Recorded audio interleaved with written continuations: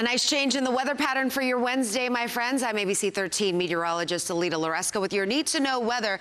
Temperatures will still be on the hot side today, but it will feel less humid. You're already feeling that as you step outside the door. It is noticeable this morning. Expect temperature readings to return in the low 100s, low 90s down along the coastline. Bay City today, high of 104.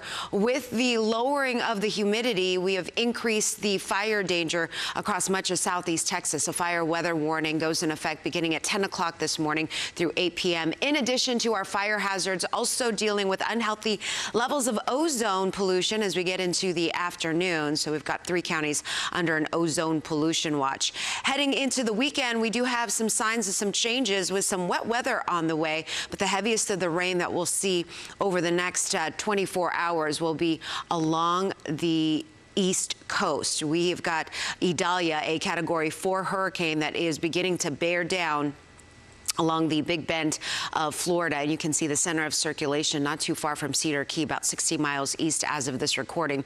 Maximum sustained winds of 130 miles per hour should make landfall sometime this morning and then continuing to push inland as we get into the afternoon hours should be over Jacksonville as a category two hurricane and then eventually shift offshore across the mid-Atlantic as we get into Thursday morning, Thursday afternoon. Around here this weekend, as I mentioned, some changes, a 20 to 30% chance of showers and thunderstorms. Meanwhile, temperature readings should start off the new week somewhere in the mid to upper 90s. All right, that's a look at your forecast on this Wednesday. Thanks for watching.